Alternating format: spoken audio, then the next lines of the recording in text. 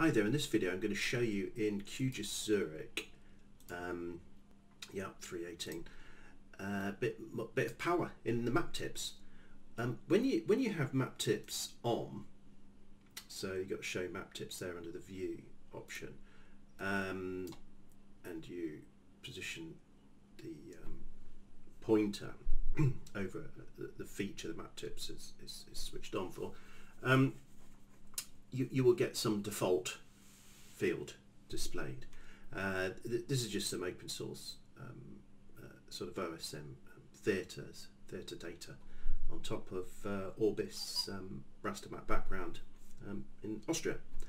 And um, so you see it come up with some number there. Well, what, what is that? Well, if I go to my OSM theatres layer, I can see that actually in display, um, I've got OSM ID in there and that's where it's picking it up from. So labels is a different thing. You know, it's very, that's to write on the map and literally label the subject. So the feature.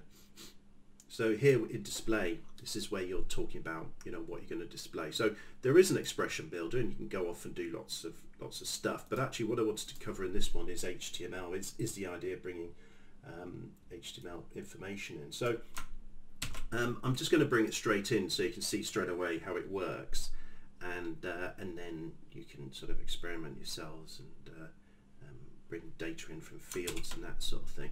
So if I bring in a just a straightforward um, link like that to the, the, website and then press OK, you see how it's an href there.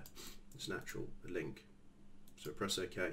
So now when I hover over one of these pointers, I actually get see uh, out of any any of this in this layer a um, link.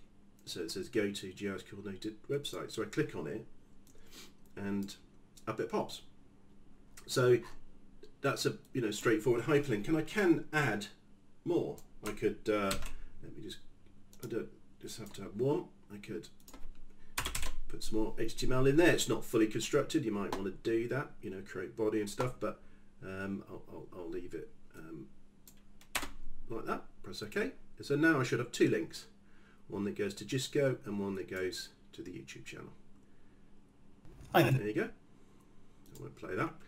Um, the other thing you can do is, uh, because it's HTML, and this is the, final example, is I could have these links, but then have a graphic on there that automatically shows up. So whenever I've, whenever I hover over feature, I want an image to appear. Maybe it's a photo of, of something. It's a photo of, uh, a tree or a building, architecture, something like that. So here I've I've just uh, just done a straightforward image source and um, and hooking it direct to a um, location where I, I have a graphic of our offices. So now when I press OK, we'll get a slightly enriched box here, you see. So I've got these two links plus I've got the Gisco offices and with HTML I could make, make you know I could just make that graphic into a uh, HTML link that goes off to that URL. Anyway, I hope you find that useful. It's just a quick look and I'll, I'll definitely be doing more on this in another video. Hope that helps. Thanks.